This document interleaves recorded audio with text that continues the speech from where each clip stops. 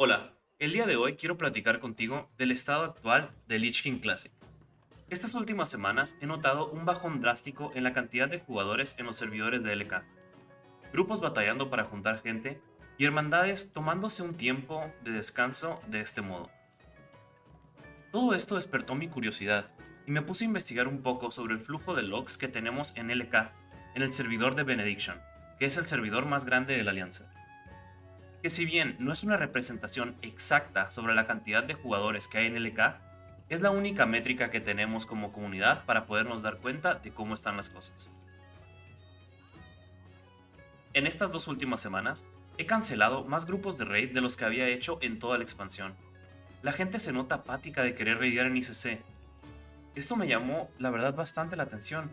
¿Cómo es posible que por un lado haya gente exigiéndole a Bliss servidores de legado para LK y por otro lado los grupos en este momento, en la semana número 7 apenas, estén batallando tanto para poder encontrar jugadores para llenar sus rosters? Y tienes que tomar en cuenta también que esta fase está programada para durar otras 16 semanas mínimo. Así que en esta ocasión vamos a analizar cada una de las fases de esta expansión. Fase 1. La raid de la fase 1 de esta expansión fue Naxxramas, una raid que fue mejor recibida en su versión nivel 60 que en LK Classic. La razón, obviamente, fue que en esta ocasión la comunidad de Classic acababa de vivir Naxxramas hace poco tiempo. En WoW Vanilla solamente fue experimentada y derrotada por un pequeño porcentaje de la comunidad en su momento. Así que cuando lo anunciaron que regresaría para Lich King tenía sentido pero en esta ocasión, con la comunidad de WoW Classic, fue todo lo contrario. Un gran porcentaje de esta población no solamente logró experimentar la raid de Naxxramas en su versión de 40 personas, sino también que la derrotó y la farmeó por una buena cantidad de tiempo. Así que en esta ocasión la comunidad no solamente estaba preparada para esta raid, sino también que se tornó aburrida bastante rápido. Naxxramas para Lich King clásico salió el 6 de octubre del 2022 y aún recuerdo el hype que se sentía en el aire. El trade chat estaba repleto de gente reclutando para sus grupos. Los servidores grandes como Benediction o Farlina tenían colas de hasta 8 horas para poder entrar. Se tuvieron que habilitar servidores nuevos para poder manejar el flujo de jugadores en los mega servidores. Yo terminé cediendo y me fui a Sulfuras con un grupo de amigos para formar una hermandad y poder progresar todo el contenido. Spoiler alert, no funcionó. Nax ofrecía 15 jefes que fueron derrotados rápidamente por la mayoría de los grupos. Y tengan en cuenta que nos dieron la versión pre-nerf de Nax, o sea, una versión más difícil que la del 2006. Aún así, Kel'Thuzad fue pan comido para la comunidad de Classic y registró un total de 26.208 logs en la primera semana. Alcanzó su punto más alto de logs 5 semanas después, con un total de 34.925 logs registrados. La vida era buena definitivamente, pero esto obvio no duraría para siempre, así que seis semanas después, Naxxramas registró la menor cantidad de logs en su historia. En la semana del 20 al 26 de diciembre, solamente se registraron un total de 23.412 logs, lo cual se debía no solo al cansancio de la gente de esta fase, sino también a las fechas navideñas y al hecho de que ya teníamos a la vuelta de la esquina el legendario raid de Ulduar, uno de los raids mejor calificados por la comunidad de WoW a lo largo de su historia. Y así llegamos a la fase 2. El 19 de enero del 2023, por fin reabrió sus puertas el complejo de los titanes, el legendario raid Ulduar. Sus 14 jefes, por supuesto, que dieron muchísima más pelea que sus antecesores. Los grupos no solamente estaban wipeando, sino que también tomaban la mejor decisión de hacer los jefes en su versión normal para poder obtener equipo y así lograr progresar poco a poco. Ulduar estaba lleno de enemigos legendarios, los guardianes corruptos, el dios antiguo Yoxaron, el observador de las estrellas Algalon y hasta una legendaria pelea de vehículos. Espera, ¿legendaria pelea de vehículos? Bueno, nadie es perfecto. Esta raid revivió el interés de la comunidad rápidamente. La gente estaba encantada y todo parecía indicar que la legendaria raid de Ulduar viviría las expectativas que se habían generado. En su salida, Ulduar registró un total de 30.090 logs en su primera semana, un aumento de los 4.000 logs que había dejado la última semana de Naxxramas.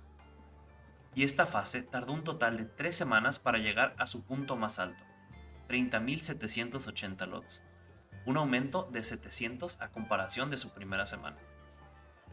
En mi experiencia y en mi opinión, así como la raid tenía peleas muy divertidas, difíciles y satisfactorias, como Mimiron en Hard Mode, Algalon, Joxar en Hard también tenía peleas muy muy aburridas o decepcionantes, como la del general Besax, Odir o Razor Scale.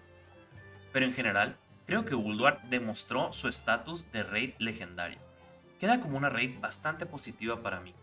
La fase 2 duró 21 semanas, sí, escuchaste bien, 21 semanas en alcanzar su punto más bajo, donde solamente registró 16.763 logs. Esta semana fue la semana antes de la salida del raid meme de la expansión. El raid que seguramente mataría a muchos grupos por lo fácil, aburrido y rápido que era. Uno de los raids peor evaluados en toda la historia de la comunidad de WoW. DOGC. Por fin habíamos llegado a la tercera fase de Lich King, y en unos meses tendríamos la salida de la legendaria Citadela de Hielo, así que teníamos que prepararnos con un raid de 5 jefes. TOGC, uno de los raids peor evaluados por la comunidad históricamente. Los grupos sintieron rápidamente la diferencia de dificultad que había traído a la mesa esta versión, y más cuando acabamos de experimentar la versión pre-nerf de Uldor. Recuerdo que el día que salió yo no tenía hermandad y andaba vagando por el mundo de Azeroth, así que decidí ver la carrera al primero del mundo por segunda vez en Twitch. Y en lo que salía la raid se me ocurrió ir por una hamburguesa. Para no hacerles el cuento largo, la raid la terminaron antes de que me dieran mi hamburguesa en Carl's Jr. XD. TOGC registró un total de 24.549 logs en su primera semana, un aumento considerable a la última semana que tuvo Uldor. Este raid era tan fácil y rápido que trajo consigo una consecuencia que yo en lo particular no vi venir. La gente empezó a armar hasta los dientes a sus alts también. Había enfermos como yo que hacíamos hasta 3 TOGC al día. Era simplemente una raid que si bien no aportaba un gran reto, te daba la oportunidad de pegarle rápidamente a los malos. No tenía basura y no tenía complicaciones. TOGC tardó 8 semanas en tener el pico de los logs más alto en su historia, con un total de 32.385 logs en la semana del 8 al 14 de agosto. Y tardó otras 5 semanas en registrar su punto más bajo en la semana del 12 al 18 de septiembre con un registro de solamente 27.549 logs. Aún así, para mí fue bastante impresionante que uno de los raids peor evaluados sería uno de los raids con mayor retención de jugadores en toda la expansión. Pero bueno, solamente quedaba la cereza del pastel, la razón por la cual todos veníamos a Northern la raid que trajo el pico más alto de jugadores en la historia de WoW. Todo el mundo hemos visto esta gráfica. Así que solamente quedaba abrir las puertas de la Citadela de Hielo. Y así por fin llegamos a la fase 4. Solamente quedaba la Citadela de Hielo o ICC, en donde por fin encontraríamos a quien muchos consideran como el verdadero villano de la saga de Warcraft el último jefe.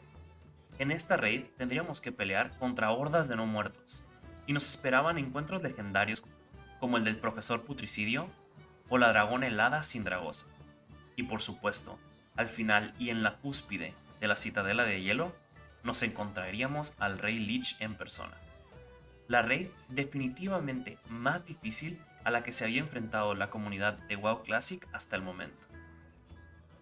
Pero bueno, ICC, la red más icónica de LK, registró un total de 25.894 logs en su semana de lanzamiento. Y la carrera, al primero del mundo, por segunda ocasión, fue vista por un gran número de personas a través de varias plataformas. Era impresionante el hype que se sentía en el aire, Las hermandades de nueva y vieja creación spameaban el trade para reclutar jugadores y consolidar sus grupos para poder enfrentar a los retos que teníamos por delante. Otra vez, los grupos estaban batallando bastante para derrotar a los jefes, no solamente en heroico, sino en esta ocasión también en normal. Jefes como el profesor Putricidio, Concilio, Sindragosa, Lich King e inclusive Lady Dead Whisper estaban probando el temple de muchos, muchos grupos. ICC había llegado para poner orden. Y los grupos estaban preparados para poder progresar en esta instancia. ICC tardó tres semanas para reportar su punto más alto de logs hasta el momento, 30.137, en la semana del 1 de octubre al 6 de noviembre. En estas fechas ya muchos grupos iban a más de la mitad de obtener su primera Shadow Moon, y obviamente todos pensábamos que esto emocionaría a la comunidad de Classic para seguir reideando, y más a la comunidad que había expresado su voz de manera muy enérgica y habían exigido que Blizzard nos diera servidores de legado para LK, pues ellos querían vivir aquí para siempre. Y bueno, ¿dónde nos encontramos el día de hoy? Cuatro semanas después, en la semana del 28 al 4 de diciembre, la fase 4 de Lich King registró solamente 21.314 logs. Uno de los registros más bajos de toda la expansión y la caída más rápida de cualquier raid que hayamos vivido hasta el momento. El hype de ICC parece estar más muerto que tus posibilidades de regresar con tu ex. Esta semana viví algo que solamente puedo catalogar como un error en la Matrix. Muchos de mis grupos no pudieron encontrar DPS. escuchaste bien, DPS para poder llenar sus filas.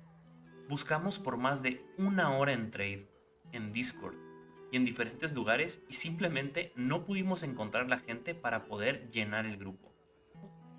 Y a todo esto, ¿a qué se debe esta apatía? Yo tengo la teoría de que el hype de ICC fue asesinado por una muerte de los mil cortes y te voy a platicar mis razones.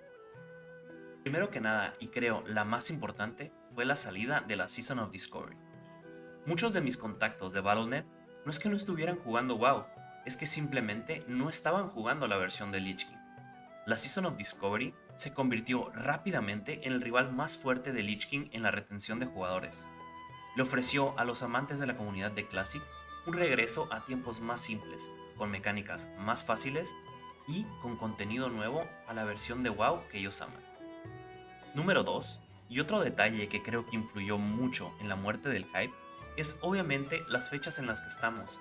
Algunas personas locas, digo yo, prefieren pasar tiempo con su familia en vez de estar jugando WoW. Muy mal. Número 3 fue el anuncio de Cataclismo Classic. El anuncio de Cata Classic, a pesar de que yo honestamente estoy de manera no irónica muy emocionado por la salida de Kata, ya que en mi opinión y experiencia es una de las mejores expansiones de WoW, sí, lo dije y no me arrepiento, hizo que muchas personas se desmotivaran ya que para una gran parte de la población de WoW Classic, Lich King es la última verdadera expansión en la que ellos consideran que aún le queda el Classic a WoW. Número 4 sería el bufo de ICC. ¿Por qué te esforzarías ahorita que solamente tenemos un bufo de 5%? Cuando te puedes ir a hacer otras cosas, jugar otro juego, convivir con tu familia. Y cuando regreses en enero, si es que regresas, tendrás un bufo del 15% extra para todo el contenido de ICC. La vida sería mucho más fácil.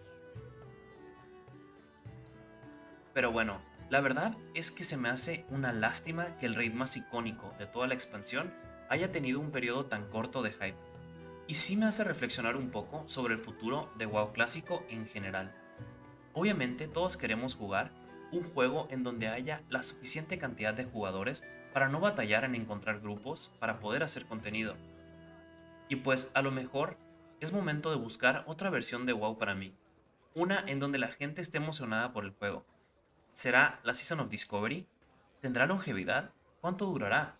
¿O probablemente regresar a la versión actual de WoW a retail?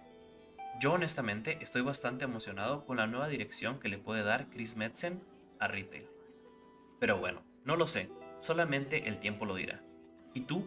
Platícame, ¿qué opinas del estado actual de Lich King? ¿Cómo has sentido a tu grupo o hermandad en estas semanas? ¿Crees que la gente regrese después de estas fechas? Y lo más importante, ¿crees que esta última fase de Lich King será suficiente para poder retener a los jugadores hasta la salida de Kata Classic? Por mi parte, ha sido todo. Nos vemos en el próximo video y que tengas un bonito día, tarde o noche. Bye bye.